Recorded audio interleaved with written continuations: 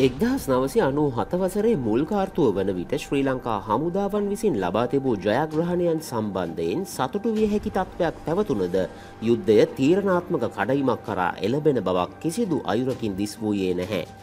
ආණ්ඩුව එක් පසකින් යුද මෙහෙවුම් සඳහා හමුදාවන්ට අනනිකුත් කරද්දී අනෙක් පසින් ලංකාවේ රාජ්‍ය ව්‍යවහය ෆෙඩරල් ලාකෘතියක් කරා පරිවර්තනය කරවීමේ කටයුතු සම්පාධනය කරමින් පැවතුනා.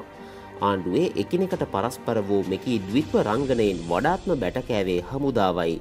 අලුතින් අල්ලාගන්න අලද ප්‍රදේශවල ආරක්ෂාව තහවුරු කරන්නටද බටපිරිස් මදිව තිබියදී තවතවත් මෙහෙවුම් දියත් කරන්නට සිදුවීමෙන් හමුදාව දැඩි පීඩනයකට පත්ව සිටියා. එමෙන්ම ආණ්ඩුවේ අරමුණ වූයේ මැතිවරණ ප්‍රතිඵල වෙනුවෙන් යුද කිරීම විනා ත්‍රස්තවාදය හෝ බෙදුම්වාදය විනාශ නොකිරීම බවද එලිපිටම ප්‍රදර්ශනය වෙමින් පැවතුනා.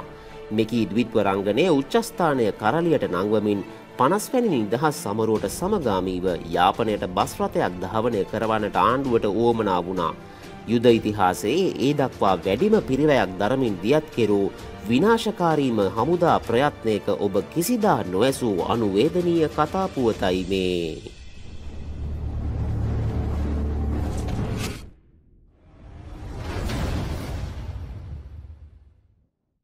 සජ්ජය මෙහෙවුම හරහා වන්නේ උතුරු දෙසින් පරන්තැන් සහ කිරිලොච්චි දක්වාද එඩිබල මෙහෙවුම මගින් වෞනියාව සිට මන්නාරම දක්වාද බලය පතුරුවන්නට යුද හමුදාවට හැකිවීමෙන් අනතුරුව මුහුණ දෙන්නට සිදු වූ බරපතලම අභියෝගය වූයේ එම ප්‍රදේශ තුළ වාසය කළ ලක්ෂ සංඛ්‍යාත ජනතාවකගේ මූලික අවශ්‍යතා සපුරාලනට සිදුවීම සහ යුද්ධය නිසා හානියට පත් වූ යටිතල පහසුකම් යථතත්වයට පත් කිරීමයි.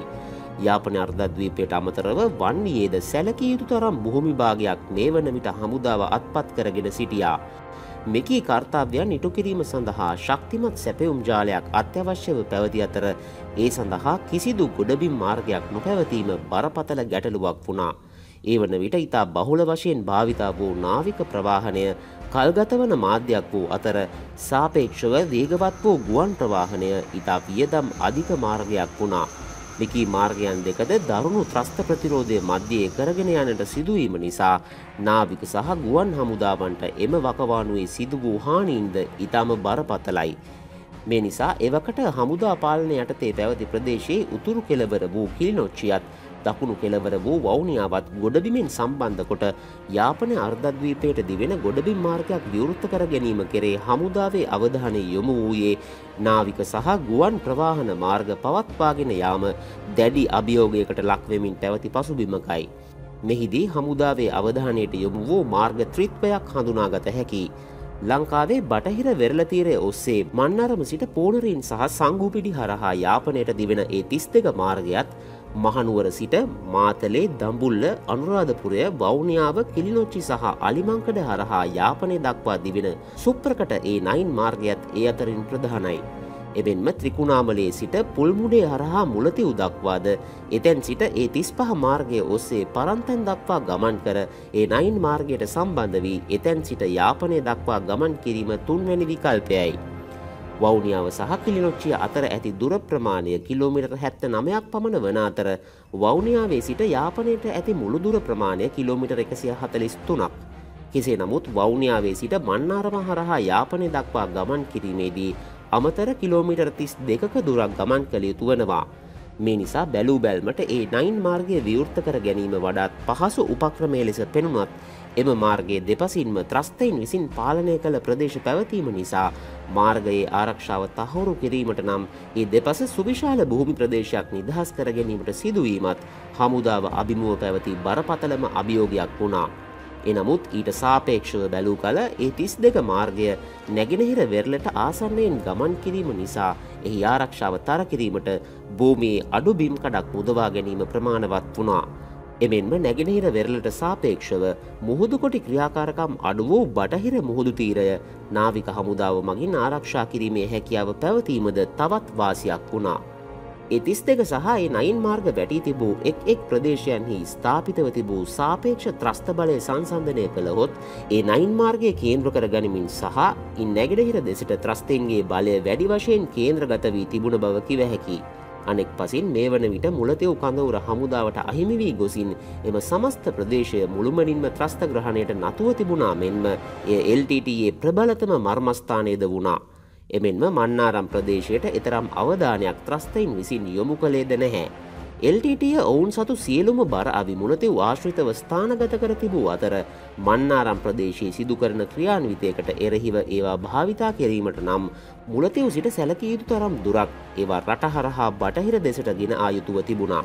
මෙකී සාධකයන් විමර්ශනාත්මකව අධ්‍යයනය කිරීමේදී වැටහෙන කාරණය වන්නේ දුර අතින් වැඩිවුවද සාපේක්ෂ ත්‍රස්ත බලය අඩුවූද අත්පත් කර ගැනීමේ පහසුව සහ දීර්ඝකාලීනව පවත්වාගෙන යාමේ හැකියාව යන කරුණු මත වඩාත් උචිත උපක්‍රමය වන්නේ ඒ තිස් දෙක මාර්ගය විවෘත කර ගැනීම කෙරෙහි අවධානය යොමු කිරීම බවයි. එනමුත් යුද විශ්ලේෂකින් පවා විමතියට පත්කරමින් හමුදාව අවතීරණ වූයේ ඒ නයින් මාර්ගයේ මුදවා ගැනීමටයි. එවන් විවාදාපන්න තීරණයක් කෙරේ යුද හමුදාව යොමු වූයේ මන්දැයි දැන් විමසා බලමු.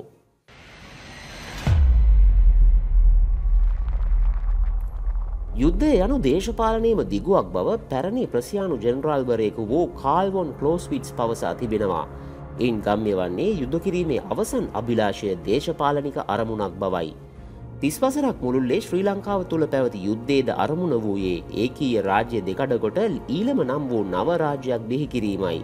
එනයින් ගත් කල ඊලාම් යුද්ධය තුළ ශ්‍රී ලංකා ආණ්ඩුවේ දේශපාලන අභිමතාර්ථය වූයේ දෙමළ බෙදුම්වාදී ප්‍රයත්නය පරාජයට පත් කිරීමයි. තවත් උදාහරණයක් ලෙස ගතහොත් යුක්්‍රේණය ආක්‍රමණය කිරීම තුළින් රුසියාව බලාපොරොත්තු වන්නේ ඇමරිකාව ප්‍රමුඛ නේටෝ බලවතුන් නැගෙනහිර යුරෝපය දෙසට සිය බලය ව්‍යාප්ත කිරීම වැලැක්වීමයි.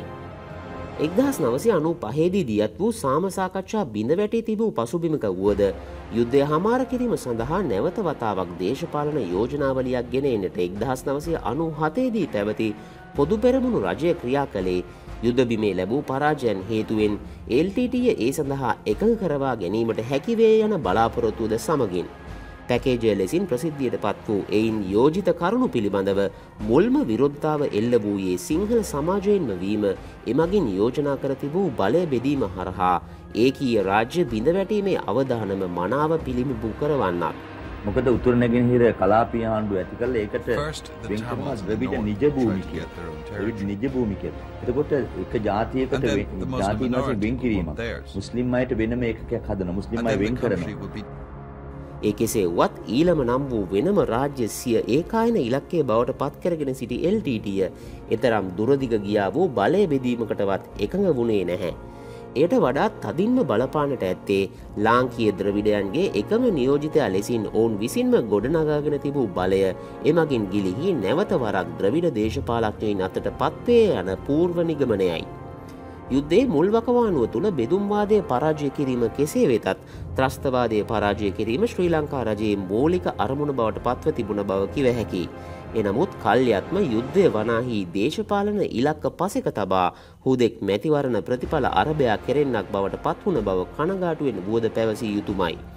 LTT සංවිධානයේ සාකච්ඡාමය සිට ගෙන්වා ගැනීමට බලකිරීම සඳහා යුදමය ශක්තිය භාවිතා කරන බව එවකට පැවති රජය පුනපුනා ප්‍රකාශ කළද ඔවුන්ගේ භාවිතාව අනුව පෙනීගියේ උතුරේ යුද්ධ ඉලක්ක අවසන් දේශපාලන අභිමතාර්ථයක් මුදුන් පමුණවා ගැනීම කිසි ලෙසකින්වත් අරමුණු නොකළ බවයි. මෙකී ජුගුප්සා ජනක දේශපාලනික භාවිතාවේ කූටප්‍රාප්තිය වශයෙන් ඒ නයින් මාර්ගයේ විවෘත කර ගැනීම සඳහා සැලසුම් කෙරුණ මහා පරිමාණ මෙහෙවුම ගෙනහැර දැක්විය හැකි. එහිදී සිදු වූයේ ක්‍රමක්‍රමයෙන් වියකී යන ආණ්ඩුවේ ජනප්‍රියත්වයට යළි පනදීම සඳහා දේශපාලන වේදිකාවේ අලවි කළ හැකි මට්ටමේ යුද ජයග්‍රහණයක් ලබා ගැනීමට දේශපාලන බලාධිකාරය උත්සුකවීමයි. ඒ අනුව එක්දහස් නවසි අනුවටේ පෙබරවාරි මස හතරවනදාට යෙදුන පනස්වන නිදහස් සංවත්සරය සමරනුවස් මහනුවර සිට යාපනය දක්වා බස්රථයක් ගමන් කරවීම ආණ්ඩුවේ අභිප්‍රාය බවට පත් වුණා. එවන් ඉලක්ක කිසි ලෙසකින්වත් හමුදාමය හෝ උපක්‍රමික අරමුණු එසේත් නැතිනම් මිලිටරියෝ ස්ට්‍රටජි ගේම්ස් වශයෙන් සැලකිය නොහැකි අතර හුදු ප්‍රචාරාත්මක වාසිය උදෙසා දියත් කළ අමනෝක්්‍ය වැඩපිළිවෙළවල් පමණක් බවද කිව යුතුයි. අවාසනාවකට එවකට යුද හමුදාවේ නායකත්වයද ආණ්ඩුවේ පටු දේශපාලන ව්‍යාපෘති වෙනුවෙන් ක්‍රියාත්මක වූවා මිස දීර්ඝකාලීන ප්‍රතිඵල අත්කර ගැනීම වෙනුවෙන් මෙහෙයුම් දියත් කිරීමේ ඇති වැදගත්කම ආණ්ඩුවට අවධාරණය කරන්නට උත්සුක වුණේද නැහැ. ඒ අනුව යාපනය අර්ධද්වීපයට ආරක්ෂිත ගොඩබිම් මාර්ගයක් විවෘත කර ගැනීම යන පුළුල් අරමුණ පස කලා මහනුවර සිට යාපනයට බස්රථයක් ධාවනය කරවීම යන පටු අරමුණට හමුදාමය ඉලක්ක හකුලවා ගන්නට යුද හමුදාවට සිදුව අතර ඒ වෙනුවෙන් සැලසුම් කෙරුණා වූ මෙහෙයුම ජයසිකරුයි යනුවෙන් නම් කරන්නටද කටයුතු යෙදුනා.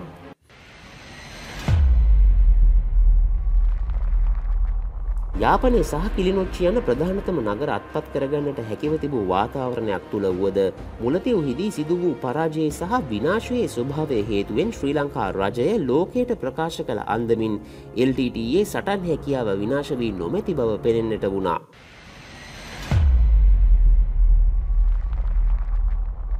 After rigorous fighting, the camp fell completely in the hands of the liberation tigers on the following day, disproving the Deputy Defense Minister's pronouncement that the LTT has been so weakened and cannot face a conventional war.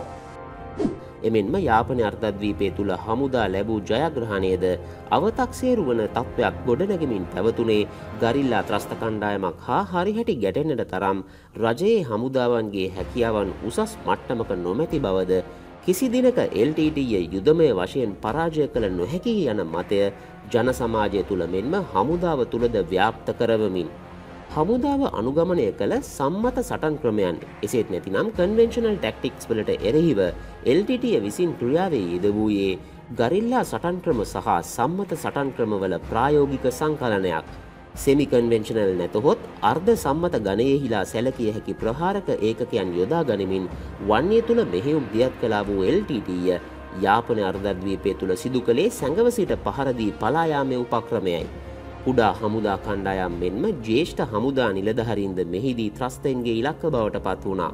එමෙන්ම අතරින් පතර කුඩා ප්‍රමාණයේ සීමිත මෙහෙවුම් දියත් කරමින් නැගෙනහිර පලාත තුළ ස්ථානගතව සිටි බටපිරිස් එම භූමියටම කොටුකර තබන්නටද ත්‍රස්තයින් ඉතා උපක්‍රමශීලීව කටයුතු කලා.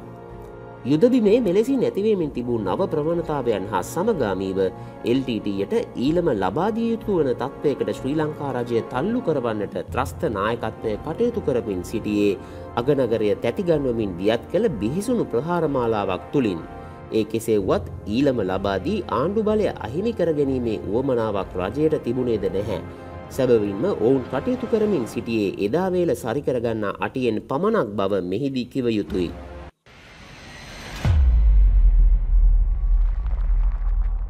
ඒ නයින් මාර්ගයේ බාණ්ඩ සහ මගී ප්‍රවාහනයට විවෘත කිරීමට තරම් ආරක්ෂාව සහතික කිරීම සඳහා මාර්ගයෙන් දෙපස විශාල භූමි ප්‍රදේශයක ආරක්ෂාව තහවුරු කළ යුතු වූ අතර එවන් සුවිසල් භූමියක් අත්පත් කර ගැනීම සඳහා යෙදවීමට සහ එය අල්ලාගෙන සිටීමට අවශ්‍ය වූ බටපිරිස් සංඛ්‍යාව යුද හමුදාව සතුව නොපැවතීම ඔවුන් මුහුණදුන් ප්‍රධානතම ගැටලුවයි. කිසිදු තාර්කිකත්වයක් නොමැති ඉලක්ක හමුදාවට ලබා දුන්නද යුද හමුදාවේ බටපිරිස් සංඛ්‍යාව වැඩකිරීමට සිදු කළ ඉල්ලීමට ආණ්ඩුවෙන් එතරම් යහපත් ප්‍රතිචාරයක් ලැබුණේ නැහැ. ඒ අතරම නව බඳවාගැනීම් සඳහා දීපව්‍යාප්තව දියත් කරන ලද ආදුනිකයින් බඳවාගැනීමේ වැඩසටහන් වලටද තරුණයින්ගෙන් බලාපොරොත්තු වූ තරම් ප්‍රතිචාර ලැබුණේද නැහැ. යුද්ධයක් පවතින අවස්ථාවක හමුදාවට බැඳීමට දිරිමත් කිරීමේ වැඩසටහන් දියත් කළ යුතු වත් ලංකාවේ සිදුවයේ හාත් පසින්ම ඊට වඩා වෙනස් ක්‍රියාදාමයක්. එක් පසකින් යුද මෙහිුම්වලට ප්‍රමුඛතාවය දෙන බව පවසද්දී අනෙක් පසින් සුදු නෙලුම් සහ තවලම් වැනි ෆෙඩරල්වාදී ව්‍යාපාරයන් දියත් කෙරුණේ ආණ්ඩුවේම අනුග්‍රහයෙන් බවද කිව යුතුයි. ආණ්ඩුවේ මෙම ද්විත්ව රංගනය නිසා තරුණයින් යුද්ධ හමුදාවට බැඳීමට මැලි වූයේ නිශ්චිත ඉලක්කයක් නැති ප්‍රයත්නයකට සිය ජීවිතය පරිත්‍යාග කිරීමට අකමැති වූ නිසාවෙන්. නැශනල් විල් එසේත් නැතිනම් ජාතික අධිෂ්ඨානයක් පැවතීම යුද්ධයක ජයග්‍රහණය සඳහා අතිශයින් වැදගත් සාධකයක් බව යුද න්‍යායාචාරයවරුන් දැඩිව අවධාරණය කරන්නක්. කෙසේ නමුත් තුන්වැනි ඊලාම් යුද්ධය අවසානය දක්වාත් ශ්‍රී ලංකාවේ පොදු මහජනතාව තුළ එවන් ජාතික හැඟීමක් ඇතිකිරීමේ අවශ්‍යතාවක් හෝ දැක්මක් කිසිදු රජයකට තිබුණේ නැති බවද සිහිපත් කළ යුතුයි. LTTය යුදමේ වශයෙන් පරාජය කළ නොහැකි යන මතය සමාජය තුළ මෙන්ම හමුදාව තුළද කිඳා බසින්නට මෙකී තත්ත්වය ඉවහල් වුණ අතර තරුණයන් හමුදාවට බැඳීම ප්‍රතික්ෂේප කිරීමට එයද බලවත් හේතුවක් වුණා. මෙවන් පසුබිමක් යටතේ වුවද යුද හමුදාව ජයසිකුරු ක්‍රියාන්විතයට අවතීරණ වූයේ ඒකාබද්ධ මෙහෙවුම් ප්‍රධානී මේජජනරල් අශෝක ජයවර්ධනගේ මඟ පෙන්වීම යටතේ. යුද හමුදාවේ ප්‍රබලතම ප්‍රහාරකේකකය වන බ්‍රිගේඩිය වසන්ත පෙරේරා විසින් අනදුන් පනස් තුන්වන සේනාංකය මෙම මෙහෙවුම සඳහා කැඳවනු ලැබූ අතර අලුතින්ම ස්ථාපනය කරන ලද පනස් පස්වන සේනාංකයට අනදුන්නේ බ්‍රිගේඩිය ශාන්ත කෝටය ගොඩ විසින්. මෙම සේනාංකයන්හි නියෝජ්‍ය සේනාංකාධිපතිවරුන් ලෙස පිළිවෙලින් බ්‍රිගේඩිය නන්ද මල්ලවාරටි සහ බ්‍රිගේඩිය නිහාල් මාරභය කටයුතු කළා. ඒ අනුව කාලතුවක්කු සන්නාහ සන්නද්ධ රථ සහ අනේකවිද බලෑනි ආධාරක අවි ආදියෙන් බලගැන් වූ විසිදහසකින් සමන්විත සේනාවක් එක්දහස් නවසි අනූ හතේ මැයි මාසය වන විට වෞනියාවට කැඳවන්නට යුද හමුදාව කටයුතු කළේ ජයසිකුරුයි මෙහෙවුම දියත් කිරීම සඳහායි. ඒ වන විට කෆීර් සහ එමයි ටූෆෝ යන ප්‍රහාරක යානාවන් සංඛ්‍යාව වැඩිකර ගනිමින් ගුවන් හමුදාවද පෙරට වඩා බලසම්පන්න තත්ත්වයක සිටියා. ජයසිකුරු ක්‍රියාන්විතය රට මැද කෙරෙන්න්න වූ සටනක් නිසාවෙන් නාවික හමුදාවට ඒ සම්බන්ධයෙන් රිජු වගකීමක් නොතිබුණා වූ නමුත් ත්‍රස්තවාදීන් මුහුදු මාර්ගයෙන් අවියායුධ ප්‍රවාහනය කිරීම වැලැක්වීමේ භාරදූර කර්තව්‍ය මෙන්ම හිඟේකින් තොරව හමුදාවට සැපවුම් ලබාදීමේ වගකීමද ඔවුන් මත පැටවී තිබුණා.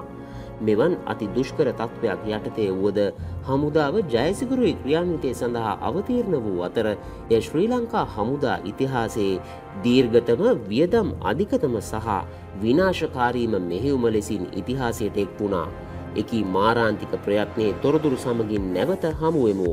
නැනස YouTube චනලය සබස්ක්‍රයිබ් කරන්නත් අමතක කරන්නට එපා. අයුබෝවන්.